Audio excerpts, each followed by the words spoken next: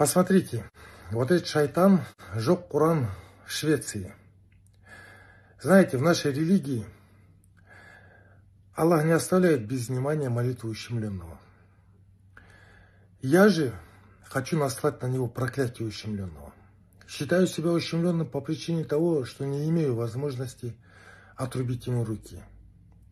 И если ты сейчас смотришь, и ты ущемлен подобно тому, как я, то дуа – это наше оружие.